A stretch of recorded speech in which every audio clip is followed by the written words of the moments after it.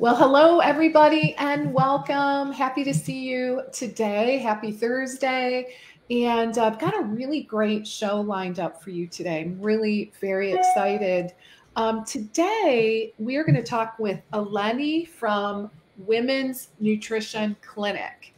And um, today, we're going to talk a little bit more about um, actually a clinical topic that I think you're going to be really interested in, and that is PCOS all right. So um, Eleni is really an expert in this in this particular area. So today is all about understanding your clients with PCOS, and um, we'll be talking specifically about you know just PCOS and must know information as a health professional. And really specifically, we're going to be delving into more of the functional and integrative approach to helping your clients with PCOS. So I think you are going to find it fascinating, especially because it is it's a very complex um, disease state, right? So mm-hmm. um, so Eleni, welcome. Really so happy to have you here with me today. It's always so much fun to reconnect with you and yeah. thrilled to see you, your success. Um, so, welcome. Um, let's kick things off. Uh, I'd love just to hear a little bit about your backstory.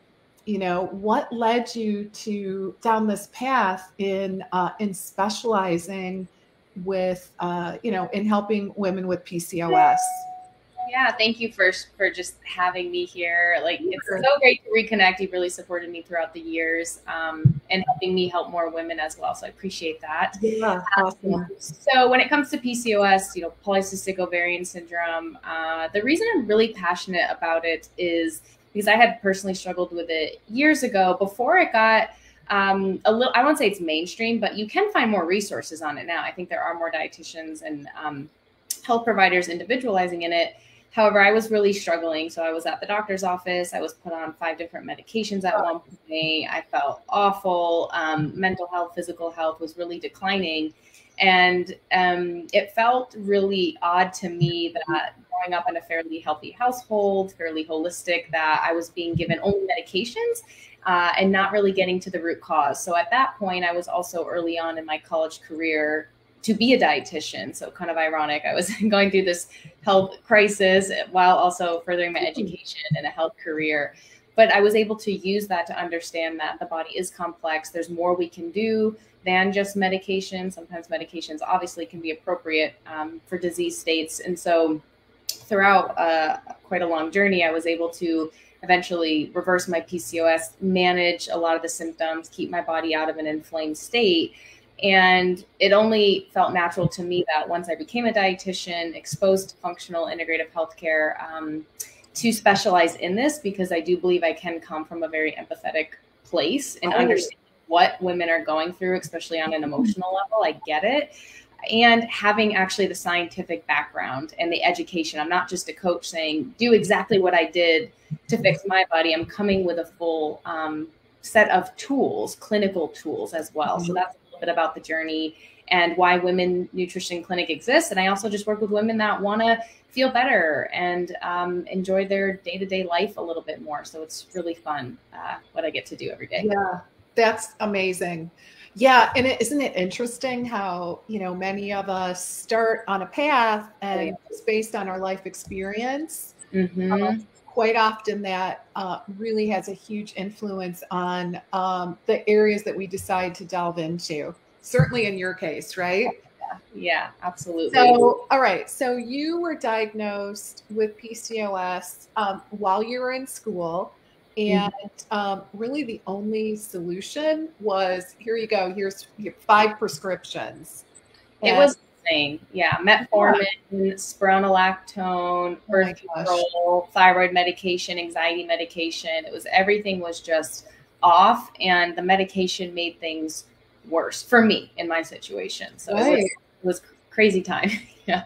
Okay. So, um, all right. Well, you know, for our audience, let's talk a little bit about, you know, what what exactly is it? It's very complex. Um, why don't you talk to us a little bit about, you know, the definition and what it looks like in in clinical practice? Yeah, yeah. So um, as I will refer to it as PCOS, but again, it's polycystic ovarian syndrome but not every female presents with ovarian cysts. However, to be diagnosed with PCOS, you do have to meet two out of the three diagnostic criteria. So this can be androgen excess, this can be the polycystic ovaries, or this can be ovulatory dysfunction. So changes in the menstrual cycle um, specifically.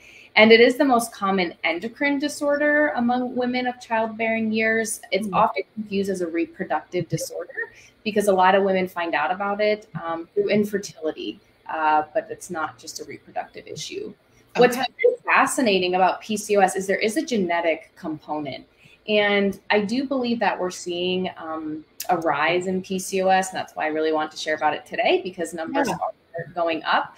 And it's because genes are being turned on. It's a very uh, complex pathway. We're not exactly sure just yet, but we can look at our environment as a big driver, right? So that whole um, topic of epigenetics. Why are these genes getting turned on in these women? So we can have this predisposition. It doesn't mean you're destined for PCOS. If your mother has PCOS, it doesn't mean you're going to have it. Um, but if any female or patient has PCOS, it is important to look at. Hey, is it? Did your mom have PCOS? Did an aunt have it? Um, did they have a metabolic condition that triggered it? So I think that's really fascinating that there is this. Oh, it is underlying and, component. Mm-hmm. Yeah, a lot of this does go back to genetics. Oh yeah, yeah. And epigenetics in particular, right? Like which uh, which of those genes are being expressed um, more prominently than others.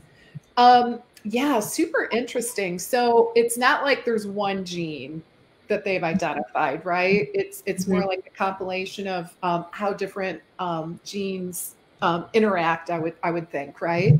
And and women with PCOS can actually have different root causes. So this is where we can get into more of like the integrative or functional approach. So what is that trigger, right? What's that? I always picture a light switch to me. So if that gene gets turned on, like who's turning on the light? Mm-hmm. Um, so there's these various root causes. So I'll go through a few of them. Um, one is inflammation, right? So if we live in an inflammatory environment or we have inflammation in our body, if we have a chronic gut issue, if we have another mm-hmm. autoimmune condition, uh, if there's something that keeps bombarding our system, that can help turn that switch on.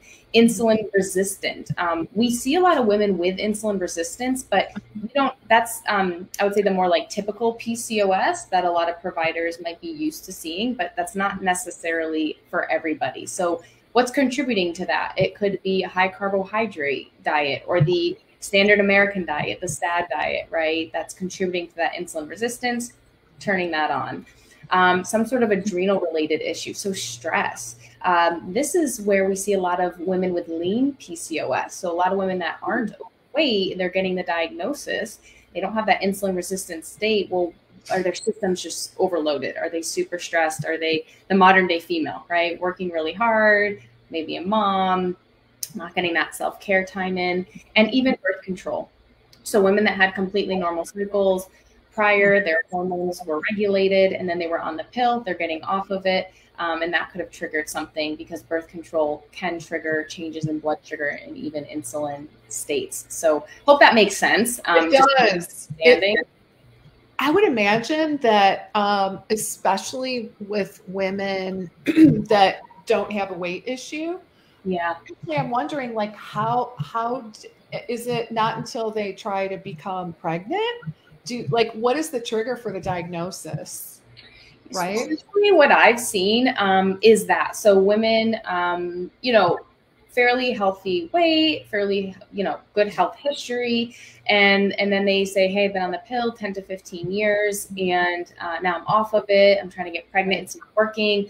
I've gained a little bit of weight at this point. It's just kind of stubborn. So that can definitely be a trigger um, as more women are on the pill. There's no shame about that at all. We just have to know that it completely shuts down that connection, right, between our brain to our reproductive system. The pill can disrupt the gut microbiome. So if you have this genetic predisposition, something like that can trigger it. women with PCOS are more susceptible to gut dysbiosis too, which I also find fascinating. So I think everything can kind of work together. So I do see that quite a bit. But then I also see women who have said, hey, my cycles have always been irregular. I've always um, been a little overweight. And then after years of not really addressing the core, it just kind of explodes. And then the symptoms get worse too. Okay. Mm-hmm. Okay, interesting. So if I'm just a you know a lay person, how, like when would I start to suspect? PCOS. You know, in terms of yeah, in terms of um, the the most common symptoms, like what would trigger me to go um, to my doctor?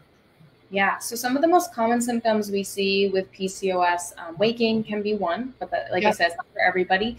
Um, but excess hair growth in unwanted places. You know, uh, some women of certain backgrounds, I'm Greek and Italian, like you might have a little hair, but it's pretty obvious. Like if there's excess hair growth, if you're having to shave, pluck, wax, it's growing back worse, especially in hormonal areas of the body like the jawline, above the lip, the chest, the back. These are areas that a lot of women complain of that excess hair growth.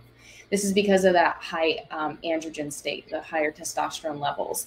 Acne, um, adult acne can be a big sign if somebody has PCOS, hair loss, um, gut issues, if there's some sort of inflammatory marker that's presenting on labs, blood sugar mm-hmm. dysregulation, insulin dysregulation. So these are like a few. So it kind of it's more about like some of the main symptoms. Um, but then if there's even some standard labs that somebody has drawn, especially blood sugar and insulin or testosterone, that's a nice starting point too. Okay. Okay. So, as a health professional, we've got lots of health pros uh, watching today, lots of, I mean, big variety of different types of health professionals. Why would you say, why is it important? Um, you know, let's say someone doesn't necessarily specialize in PCOS why is it important um, to have a really good knowledge base around identifying uh, clients with PCOS and just kind of having a handle on what to do about it? Yeah, I think this is really important and why I was excited to share because, like I said, the numbers are on the rise, like infertility mm-hmm. numbers, um, metabolic sort of imbalances.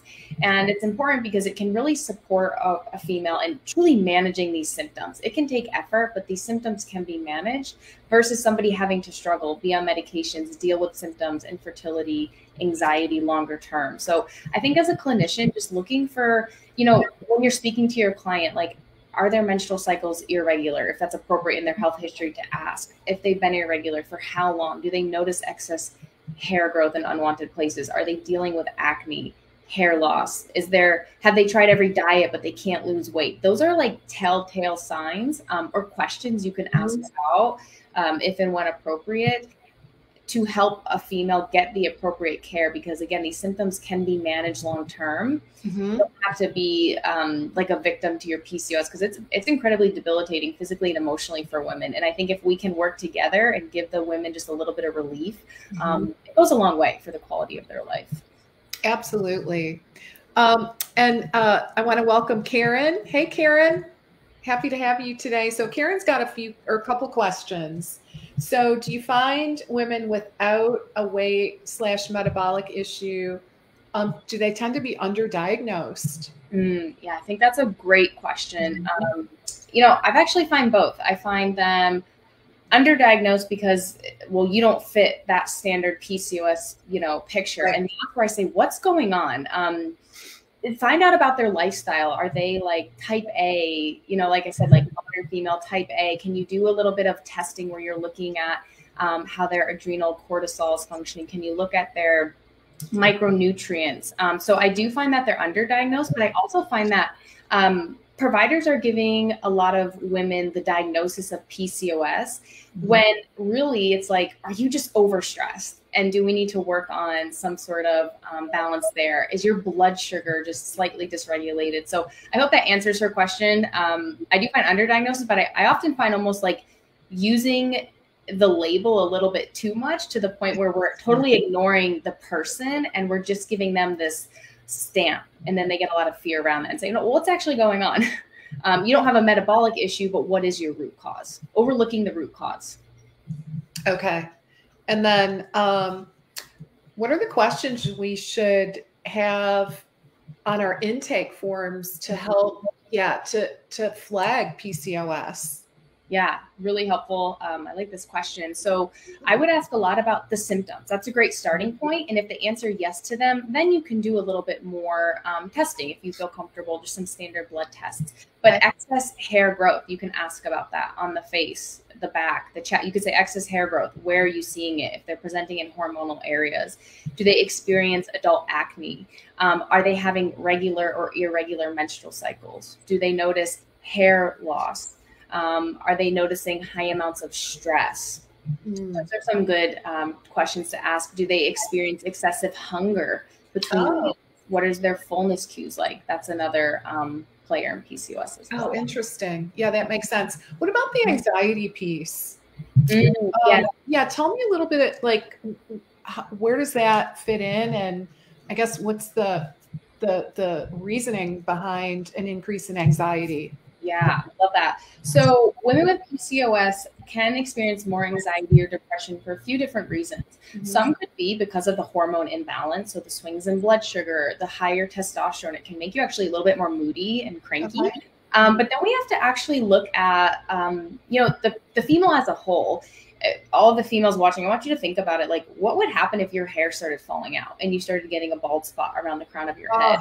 What happened if you started growing hair on your face or you had acne and you had no idea why it was happening or you had no idea how to fix it and you're you're hiding shaving your face behind your husband's back? I mean these are things that these women deal with. So um, this part of the mental health piece of PCOS can absolutely be because of the symptoms.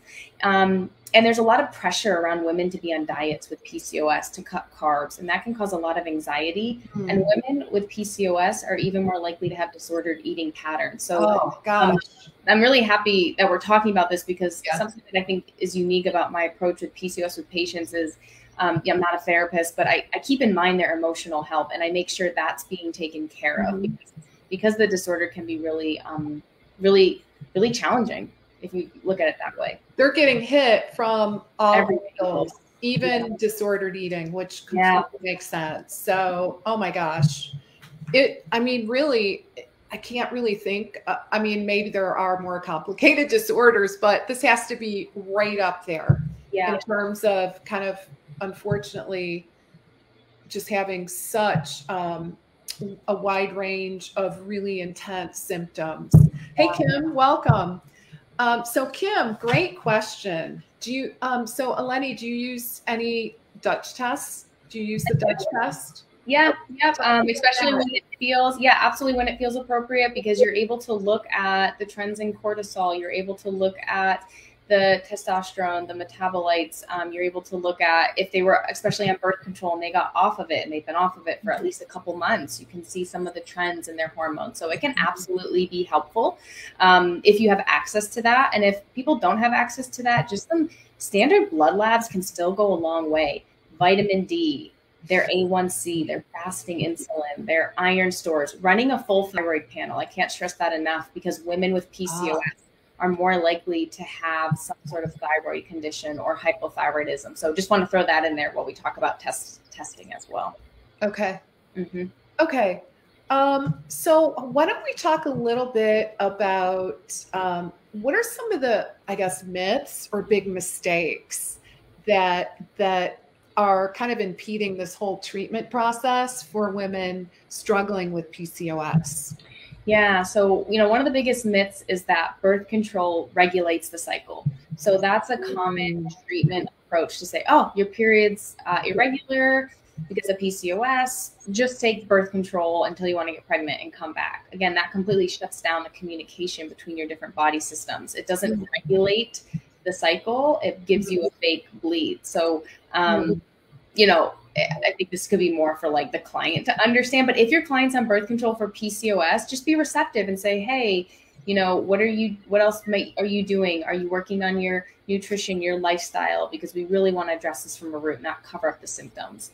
Um, another big myth is that women with PCOS can't get pregnant. Um, women with PCOS can absolutely get pregnant. I see it all the time in my practice, and it's I think one of the most rewarding things to see is if somebody is really purposeful about motherhood, they're able to achieve that. So when you address the symptoms, you get to the root cause, you get an individual ovulating, get symptoms under control. pregnancy can definitely happen. Um, so this kind of goes along with like symptoms. People believe they can never reverse their PCOS symptoms, like they're locked into that for the rest of their life, and that's not true. Mm-hmm. Again, there's this genetic component. So yeah, a client or female will always have to take care of themselves, um, but we can usually manage these symptoms really well, and we don't have to be victim to them um, any longer. And one last uh, myth I want to share is uh, you have to lose weight to balance PCOS. Not necessarily true because hmm. PCOS exists um, weight loss isn't always um, what's most important. So look at the person as an individual, not just PCOS as a syndrome. Oh, interesting. Okay. So in your treatment process, then, um, do you tend to use supplements as well? Yeah, I'm a big fan of supplements. Um, you know, it, it, totally in moderation depending on the person. But if somebody is insulin resistant, mm-hmm. inositol is wonderful. The blend of okay. and D-chiro can be a nice alternative, especially mm-hmm. if females struggle with gut issues due to metformin. This is really common. Mm-hmm. Um, so something for practitioners to know, and it's also not going to deplete different vitamins like metformin does. So I love an inositol when appropriate. I okay. love adaptogens when appropriate. If one of the root causes is this, you know, cortisol, high stress, just depleted okay. state. Um, and then if we want to do a little further support, if we're looking at the Dutch and the hormones, there's some nice herbs for that. Um, and again, some just standard labs, run their iron, run their vitamin D. Everybody I see in my clinic is vitamin D deficient um, and, and, maybe a little bit of thyroid support if appropriate. Uh, so yeah, lots. we could, could go on about that. Gut support, probiotics. PCOS is a total body syndrome. That's what we need to understand. We can't isolate right. the reproductive system. We can't just look at insulin. We've got to look at thyroid, other markers, hormones, and then from there, um, supplements can be really supportive, especially if females don't feel good about the prescriptions they've been provided. And I'll bet like insomnia is a real big problem too, right? Yeah. Guessing Yep. yep. Based on everything I'm hearing. Yeah. And what happens when you sleep? You heal, right? So sleep support is a big one. Absolutely. Right. Mm-hmm. Yeah. So um, let's see. Oh, actually, good. A really good question. So, uh-huh. what diet plan or eating pattern do you um, do you use to support clients with PCOS? Oh, and that a great question about soy. Uh, the million dollar question, right? Yeah. Um, so, for starters, you know, in terms of nutrition support, my philosophy that I use in my clinic is whole, real, organic, fresh, seasonal when we can. And I do take a really balanced approach. So I do tell clients, you know, focus on protein at every meal, not too much, because too much protein can impact blood sugar too mm-hmm. in a negative way. Um, really focus on adding in good fiber, good healthy fats. And I do advise to actually add a little bit of high quality carbohydrates, about a half a cup at lunch and dinner. That's pretty specific. But for blood sugar, insulin regulation, you know, we want to keep carbs a little bit lower in the morning, but carbs aren't evil. And this is important for the mental state of your clients because remember, put, put yourself in their shoes. If they've had weight gain or they're trying to balance their blood sugar and they're being told don't eat carbs and then they're being told to continue doing that it's really hard for these women um, or for what i see clinically so so balance i find is the best. Some examples of high quality carbs that i like to use are sweet potato lentils um, you know any of your winter squash. I even educate clients about seasonal fruit. You know, some of the lower glycemic fruit is better, but if they want to have a cup of watermelon, it's like just eat the watermelon with your protein. So pairing protein, fat, and fiber are essential. And whenever a client is having a carbohydrate, always make sure they're having a little protein or fat with it as well. So that's sort of like the plan or approach that I use. I do emphasize three meals a day. Um, intermittent fasting, we have to be careful because these women's systems can get stressed out really easy Oh, too much fasting.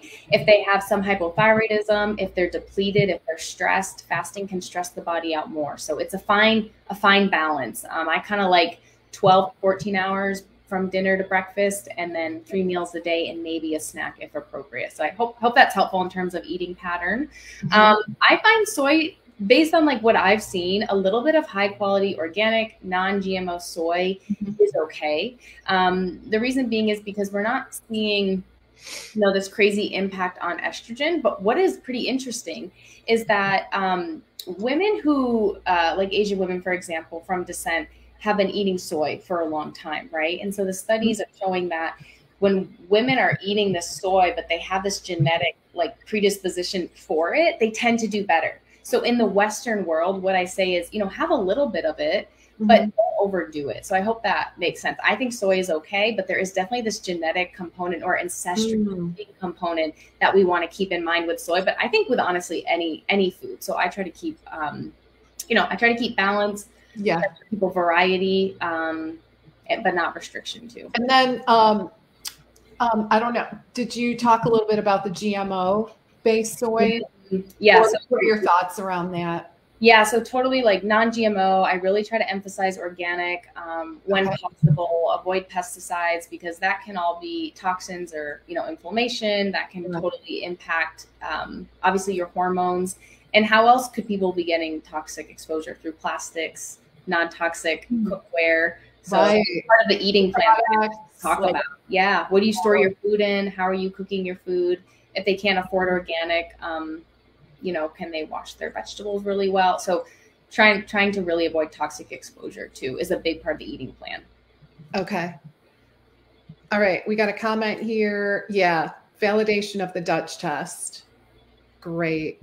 Um, yeah, I'd love to just spend a few minutes kind of changing gears a little bit, um, just talking about your practice. Yeah. Um, it's if you don't mind, it's always super fun just to get an update on, you know, just um, how, just from a practice building standpoint. Um, I know you're seeing private clients. Tell us a little bit about like the different services you're offering. Yeah, Including, um, I know you have a course as well that mm-hmm. probably people um, here are going to want to learn a little bit more about. Yeah, absolutely. So uh, I have individual uh, clients, so they go through usually minimum of like a three month program. That way, we're really moving through all of the pillars that I believe to be essential to support them in managing PCOS. That can include testing. Um, I also have group programs. I have small group PCOS programs. I find groups really empowering because these women feel so alone in their symptoms. And just to be together in a group and to converse and to learn together, um, it's really, really beautiful to see and gotten good feedback about that. So we have some group coaching um, right. and courses. So the, the point of the PCOS course that I have is to really fill in the gaps that I saw in the healthcare system for PCOS, both personally, um, but also professionally. So it's to give the foundational information. Foundationally, what should these women be doing for their nutrition, for their lifestyle, for their gut health? What lab tests should they be absolutely looking at that they can advocate for when they go to their doctor?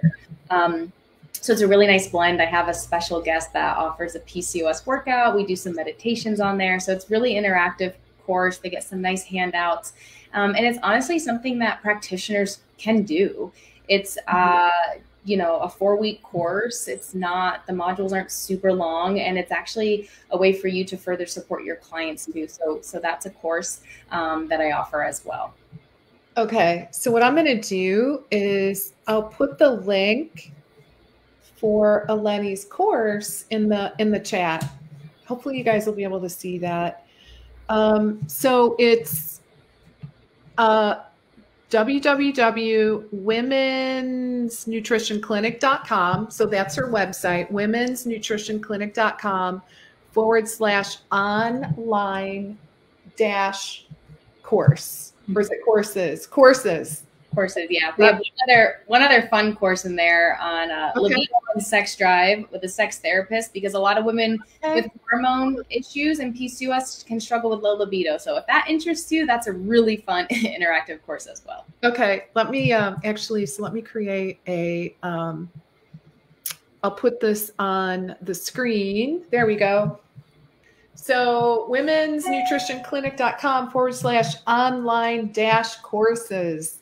So, well, one thing that I really love to hear is that um, you've been successful in creating multiple streams of income, one of my very favorite topics, right? And, um, you know, you've created some leveraged offers, including, um, you know, the, the group programs, which, you know, is certainly a win-win all the way around, right? Mm-hmm. It helps leverage your time. Um, and certainly the your clients and patients um, you know, they feel really well supported being around not only you as their practitioner, but also other women in the group that are experiencing, you know, similar challenges in their lives as a result of their of their PCOS diagnosis, which is so great. I love that. Yeah, it's um, you know, just speaking off of that, as providers, I think we all we all want to help, right? But it's so easy to get burnt out. Um, yeah. So it's really rewarding to say this feels purposeful. I'm I'm reaching more people. Like we need to address this, mm-hmm. um, but not killing myself in the process. So it's yeah, it's really fun.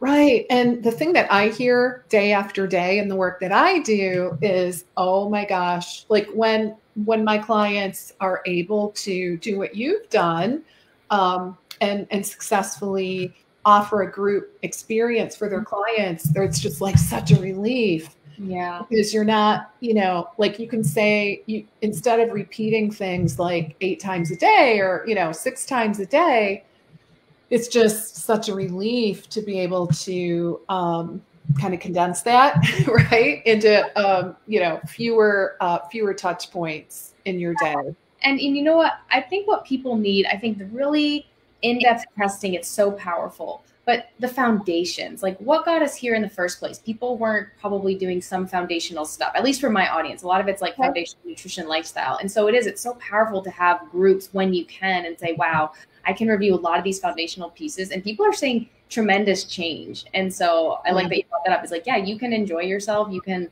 um, not have to repeat yourself a bunch during the day, and they yeah. still get the message, the important message. Right. Yeah. Well, maybe you can offer um, a couple of tips. Um, mm-hmm. in terms of you know because i know most people most uh, health professionals that i talk to dream of being successful you know, not only having programs and packages like you're doing, like the three month experience, moving away from the one on one sessions, but also um, building out what I call the profit pyramid and mm-hmm. successfully being able to fill your groups. Mm-hmm. Any, any thoughts on that? Yeah, you know, I think it's being really targeted with who you want the group to be for because yeah. more specific, right? The more you get that person to come. And, you know, allowing that group to be the most basic foundational thing. I think as practitioners, we want to sometimes we want to give like every little thing, right? Sure. We want to give the information, but that can be overwhelming to people. So if you say, Hey, I have this group offering, it starts X date, we're going through the foundations through nutrition, lifestyle, like give them a nice little outline yeah. and, and make the group robust. So for mm-hmm. example, I also give people um, a version of the online course. So little modules that they can do between. I give them mm-hmm. access to log their food. So I think a way to make the course or sorry, the group really successful is um, being specific about what you want to offer, but also have add-ons. And these add-ons, um, they're usually not going to kill you in the process. I don't mind giving a little extra, you know, uh, recipes or giving that extra course. It was fairly easy to put that together. Um, yeah and and just making the timing right. So you know, on my website when I have a group that's about to start, it's very targeted. Like the marketing is very targeted. Like this group, this start date, schedule the discovery call. Um, and I find actually scheduling discovery calls to be one of the most beneficial ways to get people in the group because okay. people don't know what they don't need sometimes. And you might think somebody's calling for an individual, um, but it's also a great way to discuss your program. And I feel like I learned that from you is like getting on the getting on the phone with people can be powerful. So I hope it, that made sense or was helpful. It does. Yeah. Um, and yeah, I, I, do think in terms of moving people into a group, I it still is one of my favorite strategies to have a conversation with them. Yeah. And that really it really helps them to get to know you better as as the practitioner. And also um, it just feels more personalized for them. Yeah. They really see the value in moving forward um, because it's you know let's be honest it's not it's depending on the price point of course but if it's you know um, even a, if it's a higher price point i would say especially it's important to have a conversation because people just don't tend to click the buy button um, for you know for those higher end offers because they just are like oh, i don't know maybe i'll you know maybe another time right so yeah. i think that's a really really important strategy there Mm-hmm. Um, I did want to mention to everybody uh, make sure that you sign up for my. I actually have a brand new and I'm super excited about this, guys. It is going to really be awesome. Very robust. If you think multiple streams of income was full, wait until you see this new training. Um, so it's called Sales Funnel Secrets for Health Pros. And I'm going to be teaching you how to create passive and leverage offers in your practice. All right. So I have the URL on the screen, leslibitel.com forward slash funnel dash challenge. All right. So mark your calendars so that you're able to show up live May 3rd, 4th, and 5th at 7 p.m. Central. So we're going to do it in the evening again. Um, seemed to work out well last time. So again, that URL, leslibitel.com forward slash funnel dash challenge. Um, and actually, if you have a mo another minute or so, we we got a couple more questions um, that I think are really good. Um, thoughts on whole food, plant based versus animal? Ooh, that's a good one. Yeah, it's a great question. Um, I'm glad you brought this up because I didn't even mention it. So I, I do find with PCOS that women do really well with a little bit of animal protein. I just think like a blood sugar perspective, even if the client doesn't have insulin resistance, mm-hmm. still balancing that blood sugar is really key and essential. Um, and if somebody chooses to do whole food plant based, really look at their ferritin stores, make sure they're on some good supplementation. Mm-hmm. Um, and it's really hard to keep a whole foods diet lower in carbs or a healthy amount of carbs. I find people tend to really overdo the carbs. So, you know, an animal protein or animal foods, it doesn't mm-hmm. have to be aggressive. It can be, you know, a little bit of eggs, a little bit of fish. You could do mm-hmm. a little bit of like collagen powder if somebody doesn't want to eat, you know, red meat and steak every day. So um, I think it's a balance, but I do find animal foods are really, really um, beneficial for this sort of population. Okay, great. Ooh, and I love this question too. So, what about coaching versus MNT? Really great question.